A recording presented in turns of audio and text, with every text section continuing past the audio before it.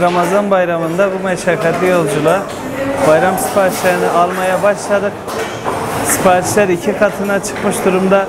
Ee, günlük Gaziantep'te genel olarak baklava tüketimi, baklava üretimi 30-35 ton oluyor. Ee, Ramazan bayramında bu iki katına çıkıyor. 65-70 ton arasında. Ramazanın son günü dediğimiz gün bu yaklaşık 100 tona kadar tekabül ediyor.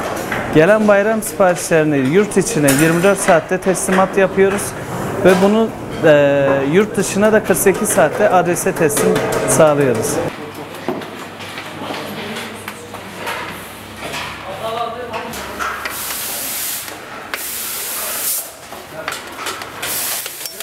Tabi bayramın 9 gün tatil olması vesilesiyle de Gaziantep'te ve çevre illerinde de insanlar tatile gidiyor.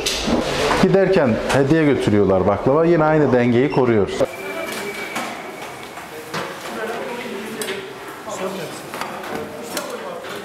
Amerika'dan tutun da Japonya'ya kadar işte İsviçre, Almanya, e, Dubai özellikle Arap ülkelerinde tatlı tüketiliyor. Oralara gönderiyoruz. Tabi Türkiye'nin de yoğunluk İstanbul, Ankara, İzmir olmak üzere diğer şehirlerin hepsine e, ürünlerimizi yerleş, yetiştirmeye çalışıyoruz.